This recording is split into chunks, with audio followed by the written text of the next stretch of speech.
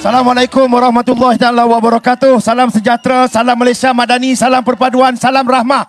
Tuan-tuan, saya yang hadir malam ni, saya terlalu yakin semua ni akan mengundi Suhaizan Kayat, betul?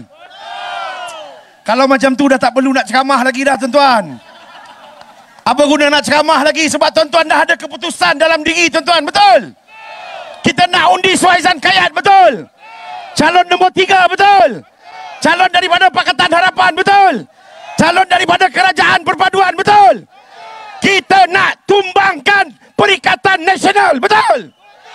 Kita nak kalahkan Tan Sri Mohyuddin Yassin, betul? Kita nak kalahkan Syahidan Kasim, betul? Kita nak kalahkan Azmin Ali, betul? Kita nak sebut kepada Perikatan Nasional. Sebab dia bagi tahu bulan 8 dia angkat sumpah sebagai kerajaan baru dalam negara kita. Syahidan Kasim bagi tahu dia kata bulan 8 baru-baru ni dia ucap selamat tinggal kepada kita kerajaan Pakatan Harapan. Dia ucapkan selamat tinggal kepada kita kerajaan perpaduan. Sebab bulan 8 yang lalu mereka telah mengangkat sumpah membentuk kerajaan persekutuan yang baru. Adakah ini berlaku tuan-tuan dan puan? Berlaku atau tidak? Syahidan Kasim bohong kepada rakyat dalam negara kita ini. Betul? Sebab itu jangan percaya Perikatan Nasional. Mereka pembohong, betul? Mereka penipu, betul? Mereka pembelot, betul? Mereka penderhaka, betul? Dengan raja-raja Melayu pun. Dengan sultan-sultan Melayu pun. Dengan Seri Paduka Baginda yang di Pertuan Agong pun. Perikatan Nasional nak gaduh nak lawan, mereka caci, mereka maki, mereka hina institusi beraja dalam negara kita. Betul? Adakah kita nak pilih lagi? Adakah kita nak undi lagi Perikatan Nasional ni? Dia kerja hari-hari tipu. Kerja kita nak bagi abang-abang ni kalau tidak, dia asyik duduk sini saja. Ini cameraman. Mula pukul 8 tadi sampai pukul 11 sekarang dia duduk situ saja. Jadi saya nak dia pun berjalan juga macam saya. Ah, tengok dia kena jalan. Ah, kena jalan sama-sama. Tipu. Kerja hari-hari tipu, betul? Dulu dia kata kalau Datuk Seri Anwar Ibrahim jadi Perdana Menteri, nanti Datuk Seri Anwar Ibrahim akan halalkan LGBT. Lelaki kahwin lelaki perempuan kahwin perempuan. Tuan-tuan, adakah itu berlaku dalam negara kita? Berlaku atau tidak? Siapa yang bohong tuan-tuan dan perempuan? Siapa? Perikatan Nasional. Tuan-tuan, ya lebay. Betul. Lebay. Sudah cukup jumlah. Kami sudah cukup undi, sudah cukup jumlah, dia kata. Tu lebay. Ah baik suruh dia je ceramah. saya, saya ni batuk tuan-tuan. Tapi sebab nak lawan Perikatan Nasional ni batuk pun batuk lah. Saya datang. Apa lagi? Dia tohmah kita. Dia kata kalau Datuk Seri Anwar Ibrahim jadi Perdana Menteri, negara ini akan dikomuniskan. Tuan-tuan, adakah itu berlaku dalam negara kita tuan-tuan dan puan? Berlaku atau tidak? Adakah negara kita sekarang ini dah jadi negara komunis? Adakah itu berlaku tuan dan puan? Tidak berlaku. Yang tipu ni Perikatan Nasional. Dia dah tak ada isu. Dia dah tak ada isu nak serang kita Pakatan Harapan Kerajaan Perpaduan. Betul? Yang dia serang Datuk Seri Anwar Ibrahim. Anwar Ibrahim ni nak jadi apa? Nak jadi Perdana Menteri ke? Nak jadi penyanyi ke? Nak jadi pelawak ke? Nak jadi pelumba lari.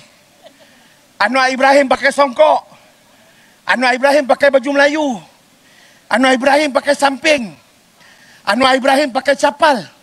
Itu sahaja isu yang dihadapkan kepada kepada kita. Tuan-tuan, dia kata Datuk Seri Anwar Ibrahim ni bila bercakap dia menipu. Tuan-tuan, bila berlaku banjir di Johor, bila ke berlaku banjir di Kelantan, bila berlaku banjir di Kedah, bila berlaku banjir di Terengganu, peruntukan 50 juta diberikan oleh Perdana Menteri kepada negeri-negeri yang terlibat dengan banjir ini. Adakah itu penipuan tuan-tuan dan puan? Adakah itu penipuan? Tidak, Datuk Seri Anwar Ibrahim beri peruntukan sama rata kepada negeri-negeri yang menghadapi masalah banjir. Betul? Tuan-tuan, dia kata Datuk Seri Anwar Ibrahim tipu. Adakah Datuk Seri Anwar Ibrahim menjanjikan gaji pegawai dan juga kaki tangan kerajaan dalam negara kita dinaikkan? Adakah itu perkara tipu ataupun benar tuan-tuan dan puan? Tipu ataupun benar? Benar. Datuk Seri Anwar Ibrahim menaikkan gaji pegawai dan juga kaki tangan kerajaan dalam dalam negara kita ini. Tuan-tuan, apabila Datuk Seri Anwar Ibrahim memberikan peruntukan 1.4 bilion ringgit Malaysia untuk membaiki tandas-tandas rosak di sekolah-sekolah anak-anak kita. Adakah ini merupakan satu penipuan ataupun perkara benar tuan-tuan dan puan? Tipu atau benar? Benar. Ini dia. Kalau nak bandingkan dulu dengan Mayudin Yassin, Sidang media pun tak berani. Masa Covid dulu betul? Parlimen tutup betul? Vaksin lambat betul? Nak adakan sidang parlimen pun tak berani betul? Istiharkan darurat betul? Rakyat angkat bendera putih betul? Ini dia Tan Sri Muhyiddin Yassin. Takkan kita nak pilih dia lagi? Tuan-tuan dan puan perikatan Perikatan Nasional. Jadi pada sembilan ni, saya pun tak nak sebut lah tuan-tuan. Nak sebut sembilan ni bulan sembilan keluar mengundi bawa IC. Tuan-tuan pun dah besar lah. Kan? Tak payah lagi. Ni siapa nak ceramah je lagi ni? Jangan sebutlah lagi. Sembilan ni bulan sembilan keluar pagi. Apa ini semua ini? Ini semua kan undi Pakatan Harapan, betul? Pakatan! Pakatan! Pakatan! Suhaizan. Kayat. Bukan. Memang nama dia Suhaizan Kayat. Seluar ni longgar. Memang nama dia Suhaizan Kayat. Bila saya sebut Suhaizan, jawab menang. Boleh? ha. Kat saya, saya bagi amaran. Lau Cintong ke? Dr. Mazli, jangan jangan sebut, tuan-tuan. Sembilan nahi bulan. Nah, nah, nah, nah, nah, nah, nah. Nahi, nahi, nahi.